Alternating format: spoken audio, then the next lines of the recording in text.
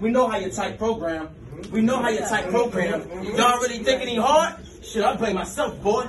Cause I be giving niggas props before they need them. And that's what happens when you see stars. Ironically, you made it out of Don't Drown, and now you standing in front of the sea guard. By the way, by the way, I knew you was gonna come talking about loyalty, loyal.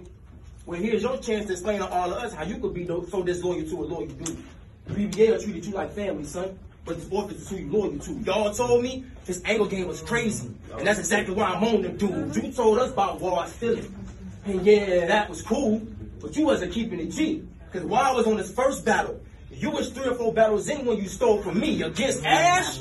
I told her, OJ, Ray Rice. Either way, catching a body can elevate her. When I said it, it was amazing. I heard it two months later, thought I was crazy. You told Triggs I would elevate on one of these bitches, but y'all gonna think that I'm Ray Rice, right? Boy, you had my mind on the trip. So you took off OJ, flipped the bar, and just handed it to the crowd like it was really legit. Oh, so we talking about stealing, and I'm supposed to.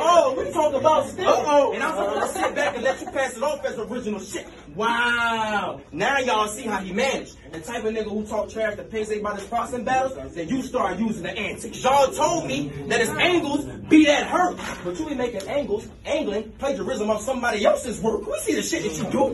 We see the shit that you do. Oh. You see the shit that you do. We see the shit that you do. You love to point the finger behind when it's pointed at you. You even claim to be one of the most solid niggas round, and I don't believe that it's true. Because you aligned yourself with radio. Now you listen to everything a broadcast, and it started changing your view. You niggas is screwed. You niggas is screwed.